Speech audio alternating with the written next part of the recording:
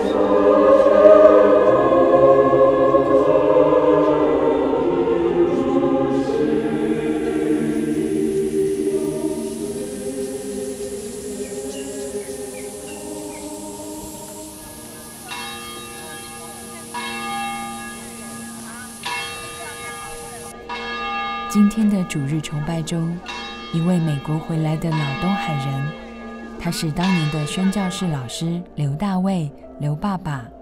好，我很高兴把这时间交给啊刘爸爸。早安。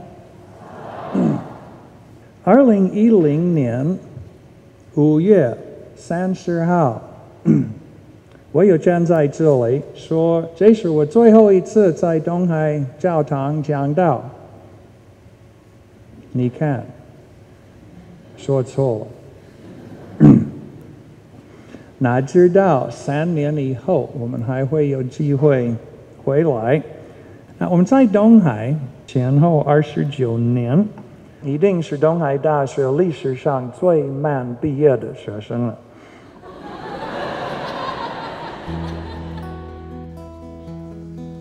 刘大卫老师难得回台湾。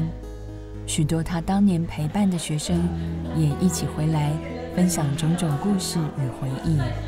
第一次我在东海教堂私会的时候，刘妈是那是一个母亲节，然后刘妈是讲员，然后所以我们的小朋友就问为什么要教什么爸什么妈的？其他人是怎么来的吗？不知道，直接来问。是因为我们刚开始来的时候，看起来太年轻，物理系的所有的都会以为他应该去跟。开 party，所以他说这样不行，你应该叫他刘爸爸，你就知道他是结婚的。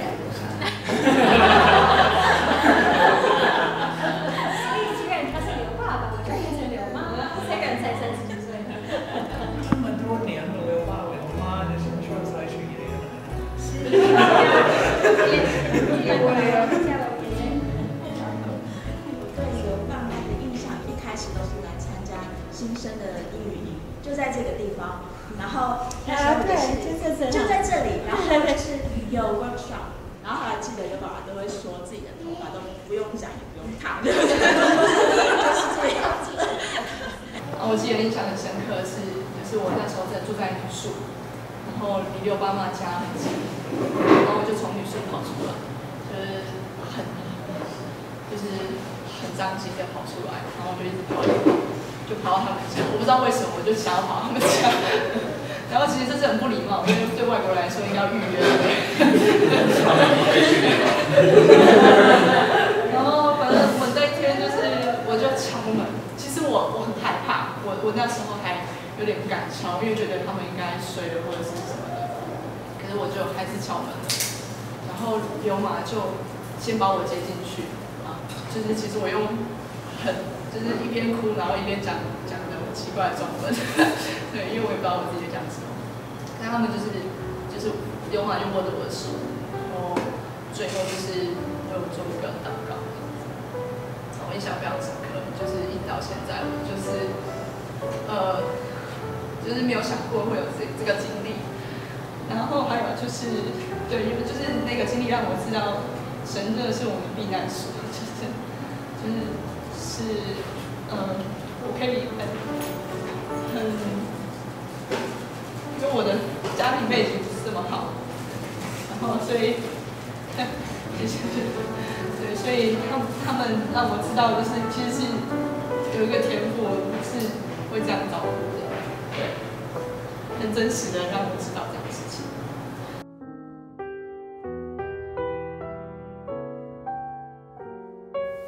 其实当时包括列马克老师、欧博罗老师啊，呃，Dr. Rose 啊，罗芳华这些，那那时候在我们年轻的这些学生里面，他们是一方面是一个象征，同时实质上他们带来的就是所谓我们所讲西方文明的这个这个部分。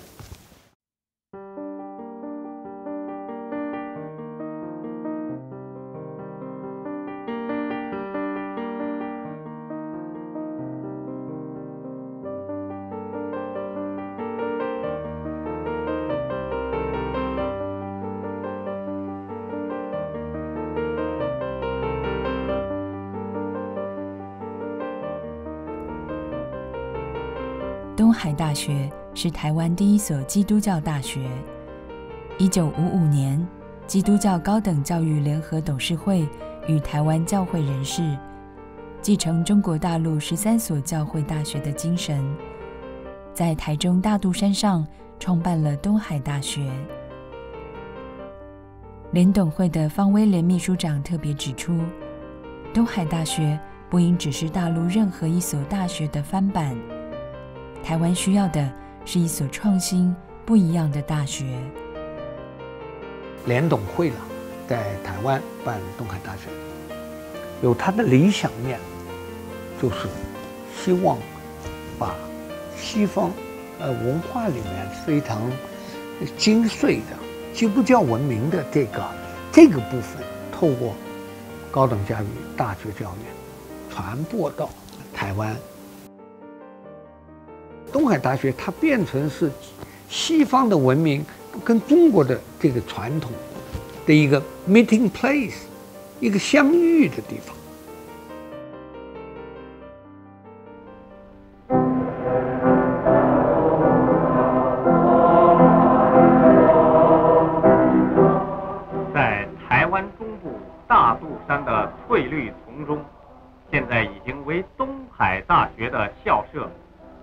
一幅美丽的画面。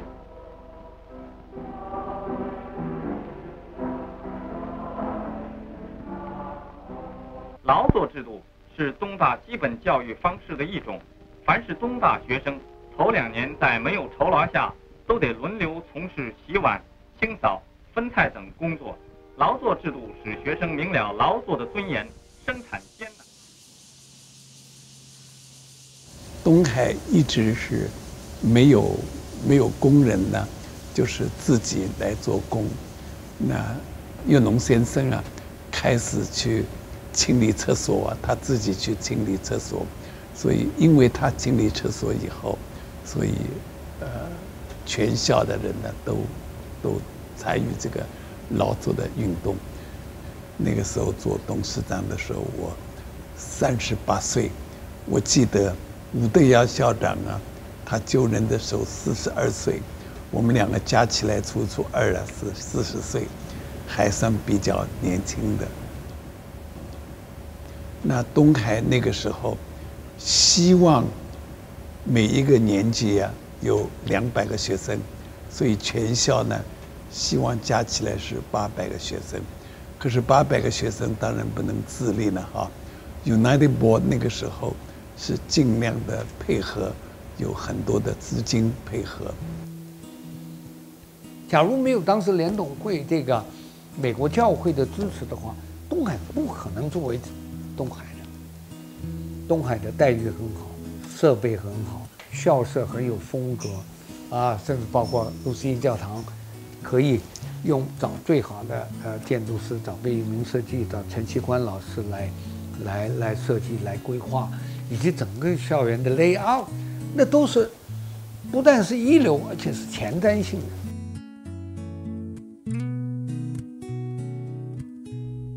东海大学由华裔建筑师贝聿铭进行整体规划，陈其宽和张兆康两位年轻的建筑师负责整个校园的细部设计和新建工程。我觉得东海很了不起的，就是说他在设立这个学校的时候，他有一个理想，然后他后面的硬体跟课程的设计跟制度的制定，他都紧紧抓住这个理想。我就讲嘛，文理大道真是壮观了。十二点下课，啪，哇，大家开始打招呼啊什么，大家一起下来做什么？共同去一个地方信箱，所以大家又在信箱里面挤来挤去啊，挤来挤去。他就用一个设用个硬体的设计规划来强迫这个学生跟学生之间的一个碰面跟认识的机会。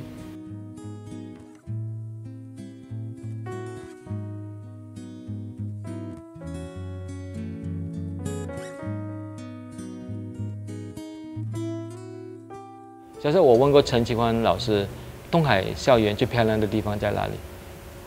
他说虚空间。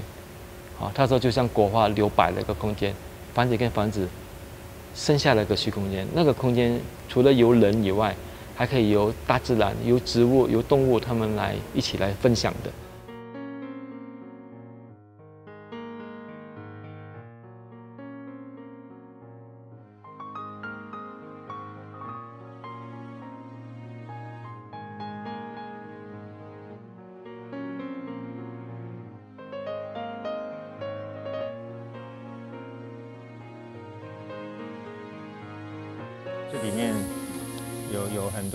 趣的事情，譬如说教堂的位置，你看它跟文理大道的关系，它它就不是说在文理大道的尽头轴线上，在那边支配的文理大道啊。这里学校有一个很主要的大家活动的一个一个轴线，那个最重要的精神核心居然没有放在轴线上，站在一个支配的位置，他他把它移开来。所以第一个，我觉得规划上它是一个。非常宽容的一种一种规划的一个一个呃呃原则，对。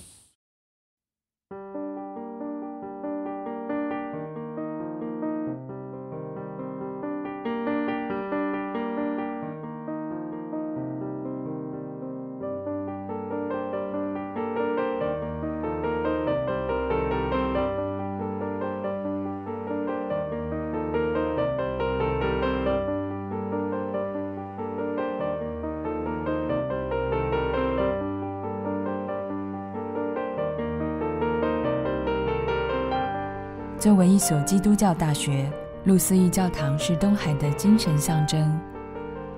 贝聿铭和陈其宽不断修正讨论，决定以抛物双曲面呈现教堂的线条。这个曲线和这个墙面呢，它叫做抛物双曲面，是在一个工程数学上面一个所形成的一个曲面，把它截下来变成这四个。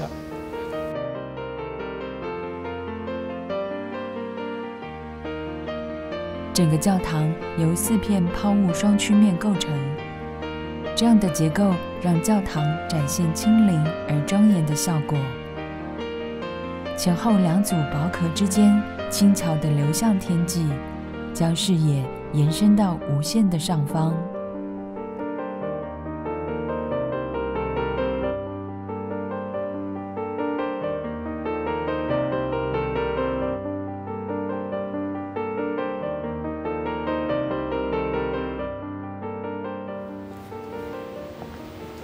我的老师陈其宽先生呢，他每次带我们来这教堂，一定来到这个角落，他特别要带到这里或者那里啊。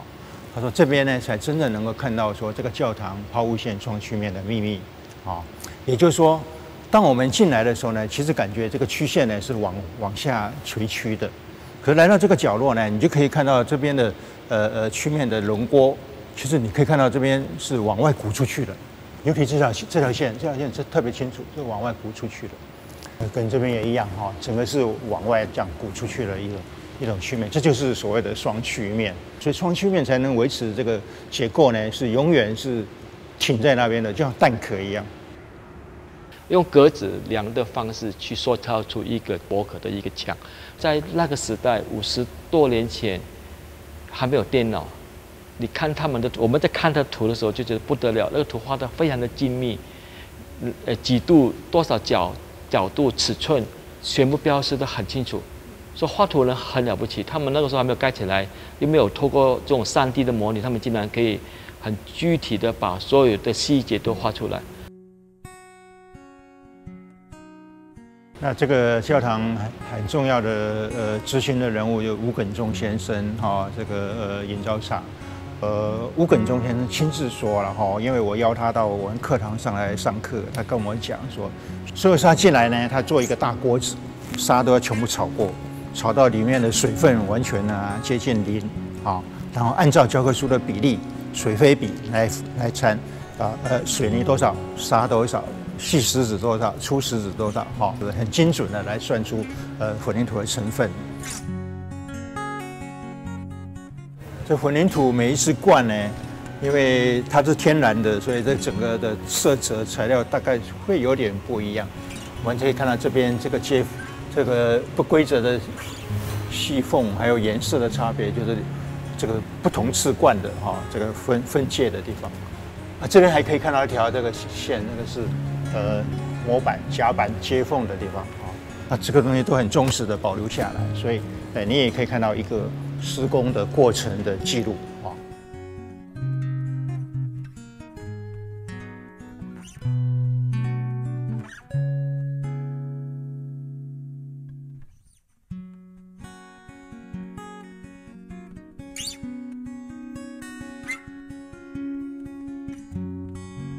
这整个瓷砖面哈，完全光滑的呢，你看起来就是整个没有质感。它这个东西就给你整个会加一个质感啊，就是稍微小小一点，就不是完全平滑的、光滑的。这里面有很多陈锡宽的讲究。这个瓷砖一到工地呢，这个这个吴耿忠也很担心，哇，每一个颜色都不一样。我，陈锡宽，对啊，不能每个颜色都一样。就要这样斑斑驳驳的，然后啊，这种颜色哦，好多，你看有的很浅，有的有的很深，这就是烧窑窑变，哦，这个窑变呢，就天然的一种啊那种变化，所以哎，你会看起来这整个是一种很丰富的一种色泽的一种深深浅浅哈，哎，整个就就是那种活的感觉。大胆采用最新工法，舍弃传统的梁柱结构。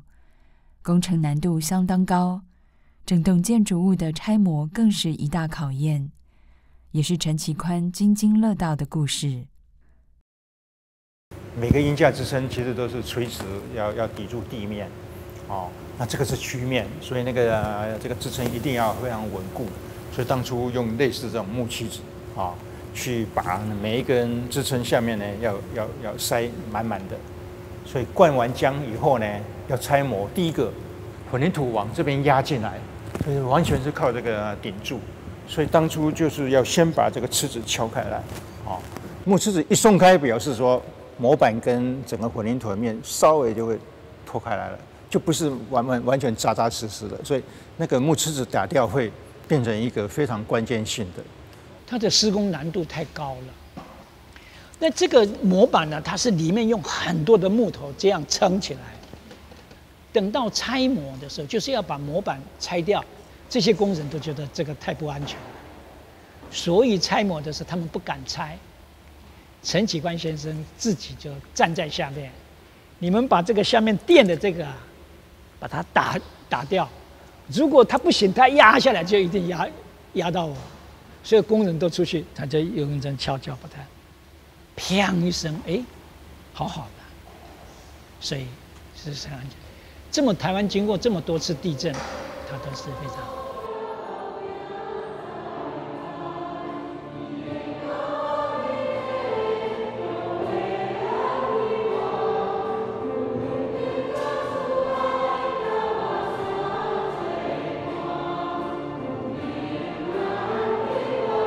东海教堂取名路思义。是为了纪念路思义牧师，他献身中国宣教长达四十四年，也催生了联董会。一九六三年，教堂完工，举行献堂礼拜，路思义的女儿穆尔夫人和贝聿铭都莅临出席。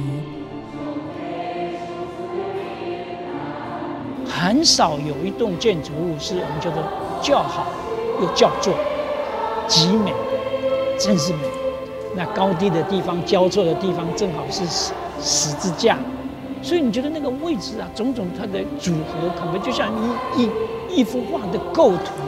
第二个，它极简，真是简，每一个存在都是必要的，你拿掉是不行的。虽然是简单的方式，可是却是很难的一个过程，很很复杂的过程，哦，很精密的过程。可是出现的结果是很简单的。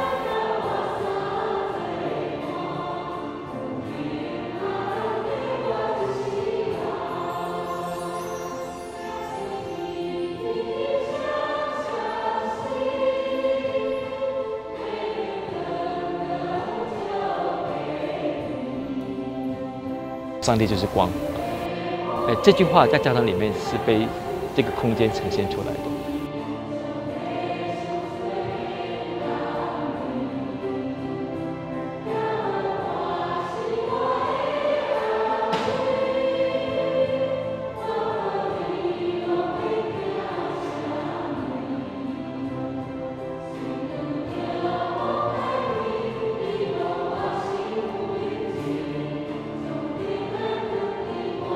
东海大学作为一个基督教大学，除了看得见的教堂是非常被人所认识的之外，在建筑物的背后，人是最重要。有一群宣教士的老师，从世界各地早年来到东海，他们每一个人在学生的心目当中，影响力不亚于一座路斯义教堂。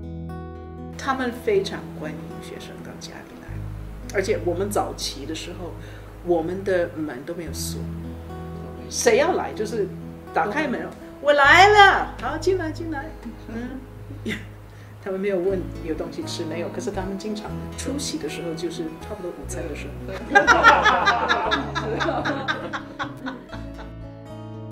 小生物系欧保罗老师，社会系练马可老师。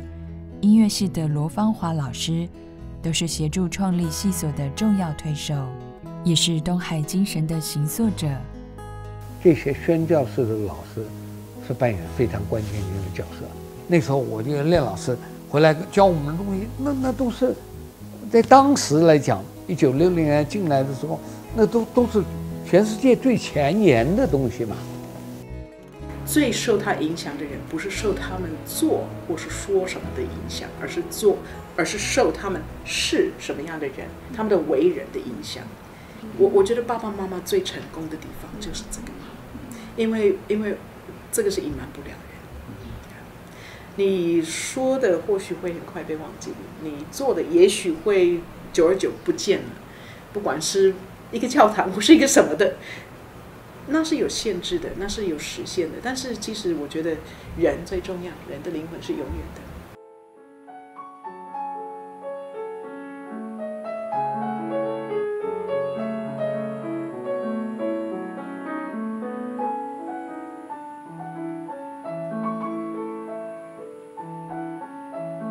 直到今天，音乐系的罗芳华老师还一直陪伴着东海学生。罗老师保留着一封信，这是他四十八年前决定来到东海，母亲写给他的信。The joy to have you so far away from home without a chance to see you for two, three, or even more years. But if that is what you decide, I shall put no stumbling block in your way. 他说他觉得父母不应该，呃，决定孩子做什么。他说当然他不会。很喜欢，叫我去一个很远的地方，好几年不能看到我。可是他说，假如我这样决定的话，他是会完全支持我。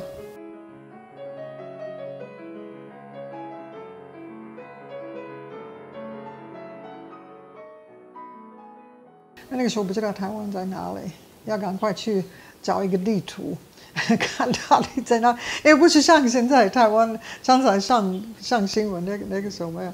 那那个时候以前我已经看了一本书，那本书里面就会说，卫理公会需要什么传教士，我还记得很清楚那本书，而且那个一个小小的地方说，呃，就是在讲什么地方？他说：“他说台中台湾东海大学音乐老师。”那我看那个时候，我不知道那个是我，可 是后来就是我。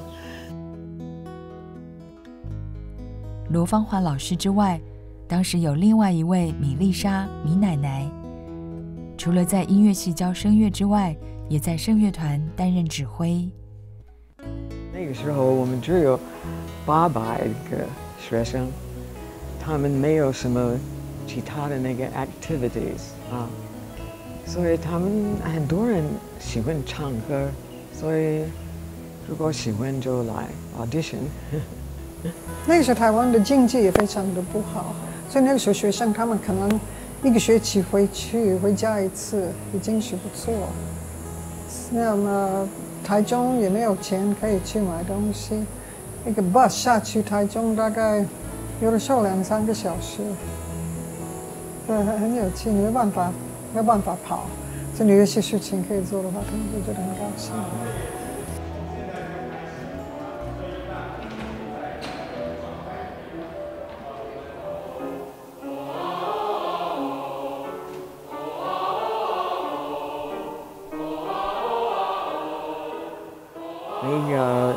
春假我们呃就 tour，呃 tour in Taiwan various places，呃四五天，所以我们都在那个 bus together。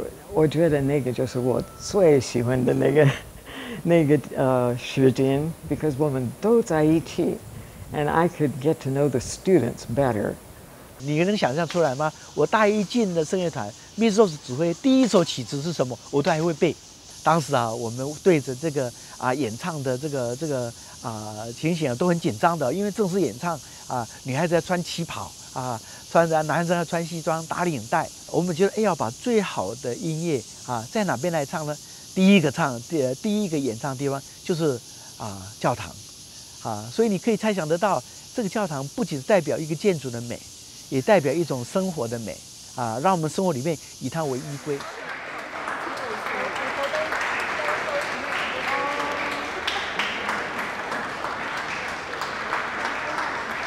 今天晚上是露西参加第一次的全场的音乐会，这是一个特别的时刻。今天晚上我们的指挥是 Mrs. Rice。我们都喜欢称她为李奶奶。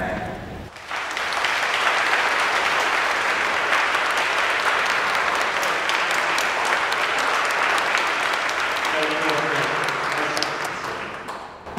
，Lucy 合唱家要先和大家一起分享一首所有东海人都应该知道的世界名曲。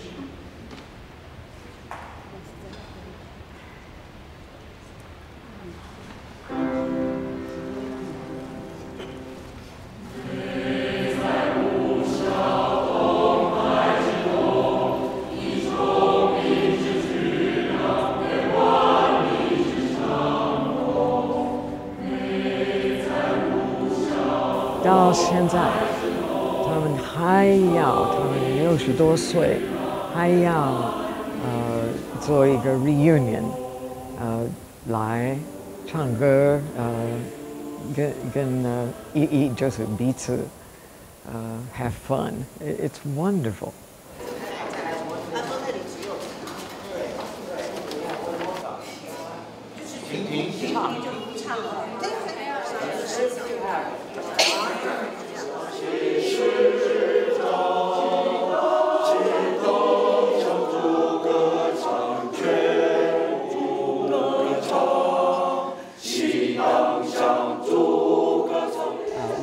次的 reunion 是二零零四年，因为毕业三十几年，知道时间不多了哈，能在一起也很好，就请 Miss Rice 回来跟我们演唱。你能想象出来吗？因为以前我们演唱都会背的，所以一回来马上唱几首，马上就就进入状况了。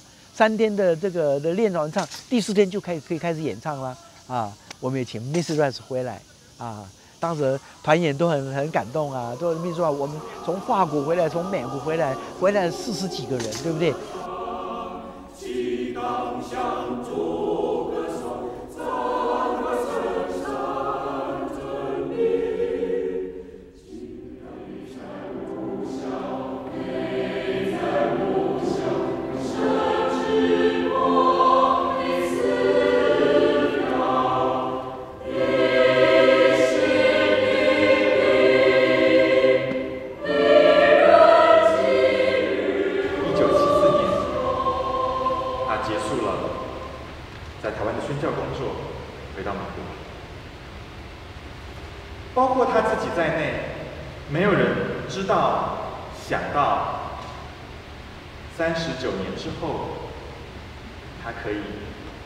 在做这一件特别的事。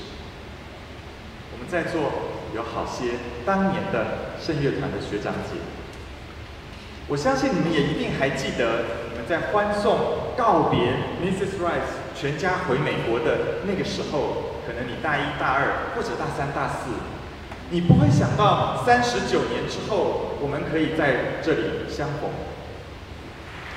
哈利路亚！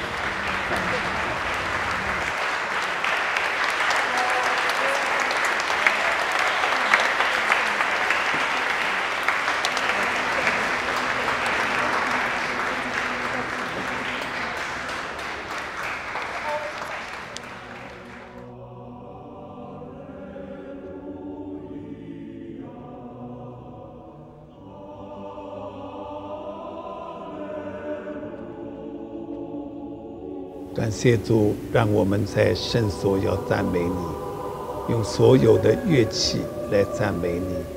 特别在这个时候，是在东海的教堂里面，特别为东海大学祷告，求主让东海大学成为一个真正基督教化的大学。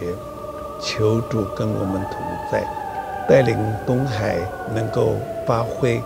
他们基督的爱，有把基督教的样式能够活出来，一切都交在主的手里，求主看顾、带领，奉耶稣的名祷告，阿门。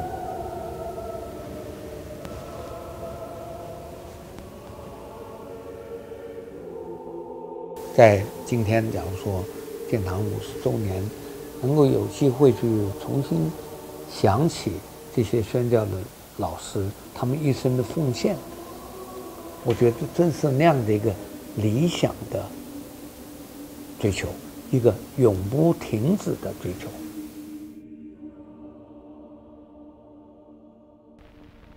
四年前，这群带着垦荒者的精神迈进东大校门的学子，今天在庄严隆重的毕业典礼中完成这一段重要的旅程。首先由年高德重、热爱中国的老教授马伦博士带着一百七十三名准学士走进礼堂。My heart is very full this morning. Donghai University is a remarkable achievement. It is only seven short years since you here in Taiwan and we on the other side of the Pacific began cooperation in the development of a new Christian university. And may God go with you.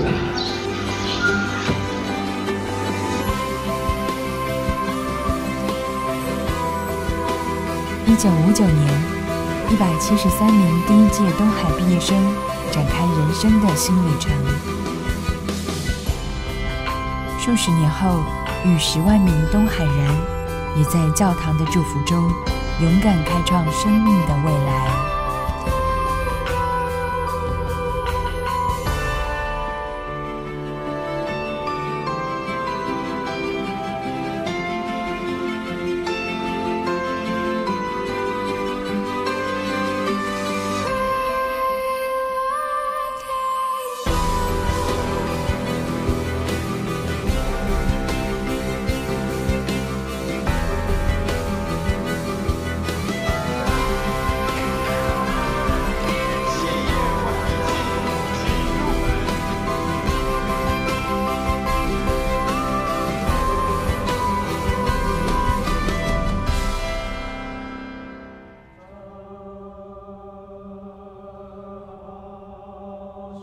一个基督教的大学都把最重要的一个地方啊做成一个教堂。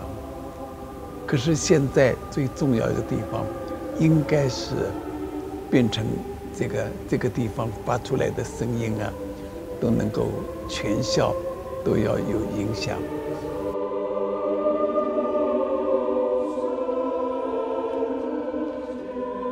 现在是 to be seen。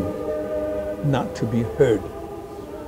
To be seen 呢，人家都来拍照，看见那个漂亮的房子，to be seen，可是我们没有 to be heard，我们要发出一个声音出来，这个声音人家能够听得见。